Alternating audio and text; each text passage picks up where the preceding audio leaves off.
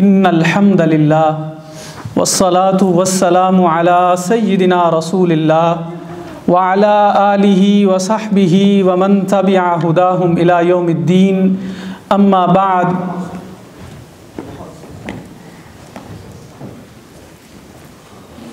मोहतशम मुकर्रम सामीन हजरात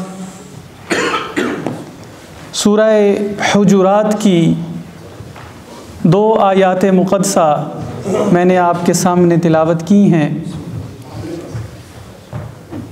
इनमें से जो दूसरी आयत है, या अयुहन्नासु इन्नमा खलक़नाकुम मिन दकरिन व उनसा। ये बुनियादी तौर पे इस्लाम का वो निज़ाम जिसको हम मुआशरती निज़ाम कहते हैं। या वो घर जिसको हम इस्लामी घर कहना चाहते हैं, ये उस उनवान के मुतालिक है। अल्लाह करीम ने इरशाद फरमाया, या अयुहन्नासु ए लोगो, इन्नमा खलक नाकुम मिन दकरिन व उनसा, तुम लोगों को तमाम लोगों को मुखातिब होकर फरमाया, मुसलमानों को सिर्फ़ ख़िताब नहीं है, बल्कि तमाम लोगों को मुखातब होकर क्या इरशाद फरमाया? खलक नाकुम मिन दकरिन व उनसा। हमने तुम्हें एक मर्द और एक औरत से पैदा किया है और उनके दरमियान एक रिश्ता और एक ताल्लुक़ उस्तवार किया है, जिसको निकाह का नाम दिया जाता है। सीरत नबी सल्लल्लाहु अलैहि वसल्लम में आपकी ज़िंदगी का मुताला कीजिए। तो आज मैं इसमें एक ख़ूबसूरत हवाला आपकी मालूम में इजाफ़े के लिए इस लिहाज से करना चाहता हूँ कि हुजूर ने अपने दौर अक़दस में जो शादियाँ करवाई हैं उनमें से एक बड़ी ख़ूबसूरत शादी हज़रत सईदा ख़ातून जन्नत फ़ातिमतुज़हरा ज़हरा अलैहा की तोज्जो है जी, जी सईदा ख़ातून जन्नत हुजूर की सबसे छोटी बेटी थी और आपने उनकी शादी करवाई। और गौर कीजिए, मदीना मुनवरा में जब हुजूर तशरीफ़ फरमा थे, आपके पास कई रिश्ते आए। आपकी नज़र में कई रिश्ते मौजूद थे। कई गनी लोग मौजूद थे, मालदार लोग मौजूद थे। और रसूलुल्लाह सल्लल्लाहु अलैहि वसल्लम की बारगाह में दो पाकिज़ा लोगों के रिश्ते भी आए। जो कुछ ना कुछ मालो असबाब भी रखते थे और हैसियत में भी अच्छे थे, नेकुकार भी थे। वो कौन थे? सैदना अबू बकर सिद्दीक़ रज़ी अल्लाह तन हो और सैदना उम्र फ़ारूक रज़ी अल्लाह तन हो हज़रत सैदना उम्र बिन ख़त्ताब ने, या रसूल अल्लाह जाके पूछा, या रसूल अल्लाह आपकी साहबजादी अब जवान हैं तो उनके रिश्ते के हवाले से कोई बात की जा सकती है? सल्लल्लाहु अलैहि वसल्लम ने मना फरमा दिया आपने फरमाया अल्लाह की तरफ़ से अभी तक हुक्म नहीं हुआ। लेकिन सैदना अलीमरतज़ा जो कि हुजूर ने जिनको ख़ुद तरबियत दी थी जवान किया था अपने ज़ेर कफ़ालत रख के उनकी तरबियत और इतनी अनमोल तरबियत जो सैदना अलीमरतज़ा की हुई है कायनात में इतनी अच्छी तरबियत आज तक किसी शख्स की जने की नहीं हुई। मैंने सैदना अलीमरतज़ा की तरबियत के हवाले से पिछले जुमातुलमुबारक पे क्रीमिया मस्जिद में ये वाक़ बयान किया था कि मैदान के अंदर जब आपका मद्द मुकाबिल ज़मीन पे गिर गया और वो ऐसा मद्द मुकाबिल था जिसको कत्ल करना इस्लामी लश्कर में हीरो बनने के मुतरदफ था, लेकिन जैसे ही वो मद्द मुकाबिल गिरा, उसका सतर खुल गया। अली ने अपनी तलवार वापस नियाम में डाल ली। दोस्तों ने पूछा, अली आपके पास तो टाइटल लेने का, एजाज़ लेने का बड़ा मौका था। आप उसको कत्ल करते। आपका जवानों की लिस्ट में नाम आता।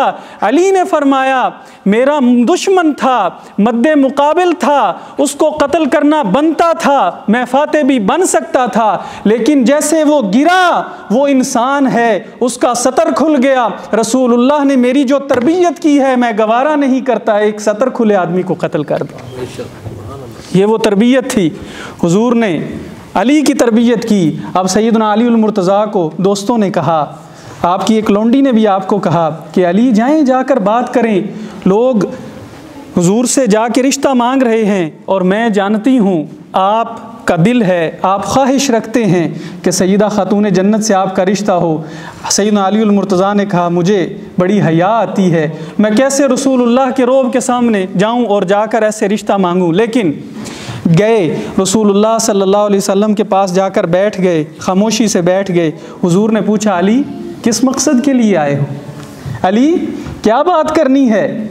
आगे से जवाब ना बन पाया, चुप हो गए। जैसे ही चुप हुए रसूलुल्लाह सल्लल्लाहु अलैहि वसल्लम ने खुद बात शुरू की और फरमाया हाँ मुझे अल्लाह ने हुक्म दिया है कि कायनात की औरतों की सरदार फातिमा को तेरे निकाह में दे दूँ। मुझे अल्लाह ने हुक्म दिया है फिर पूछा, तुम्हारे पास कुछ है? अली ने उस वक़्त क्या जवाब इरशाद फरमाया, मेरे लिए, आपके लिए, नौजवान तशरीफ़ फरमा है सब के लिए। बड़ी सबक की बात यह है कि हुजूर ने जब ये सवाल पूछा, आपके पास क्या है? अली ने कहा, मैं तो खाली हाथ तो क्या हुजूर ने अपनी बेटी का रिश्ता ये देख कर किया है कि इसबाब कितने हैं? या ये देखा कि इसके पास मालो ज़र कितना है? नहीं। यही इस आयत में बयान किया इन अक्रमकुम अतकाकुम। अल्लाह के यहाँ तुम्हारे मालो इसबाब तुम्हारे बैंक बैलेंस, तुम्हारी बड़े बड़े घर, तुम्हारी कोठियाँ, इन सब की कोई हैसियत नहीं है। अल्लाह के यहाँ किस चीज़ की हैसियत है? वो है तकवा, जिसका दिल अल्लाह के यहाँ सबसे ज़्यादा डरने वाला है। वही अल्लाह के यहाँ मुआज़ और मुकर्रम है। अली मुत्तकी था। हजूर ने मालो असबाब नहीं देखे। फरमाया हाँ वो ज़रा ले आओ। वो ज़रा ले आओ जो मैंने तुम्हें एक मरतबा गिफ्ट की थी। सईद अलीमरतज़ा फरमाते हैं कि मैं वो ज़ीरा ले आया। उसमें मेरा कुछ पैसे आए और निकाह कर दिया गया। तो ये एक ऐसा टर्निंग पॉइंट है, ये ऐसी बुनियादी चीज़ है जिसके बारे में हम सबको ख्याल रखना चाहिए कि तकवा वो मैार है जिस पे निकाह और जिस पे शादी वाला बंधन बंधना चाहिए। नौजवानों के लिए ज़रूरत इस चीज़ की है कि वो बजाय ये भी ज़रूरी है इसबाब का, को मुहैया करना बहुत ज़रूरी है। और दीगर कई लवाजमात को पूरा करना बहुत ज़रूरी है, लेकिन अपना करैक्टर भी तो बनाना है ना। अली जैसा करैक्टर भी तो हो, फिर आपके निकाह में वो खातून आ सकती है, जो जन्नती औरतों की सरदार करार पाई है। जिसके कदमों में हसनो हुसैन की जन्नत है, वो माँ, वो अजीम माँ। और उनकी ज़िंदगी का मुताल कीजिए, आपको पता चले कि घर के कामों में चक्की तक खुद पीसना पड़ती थी।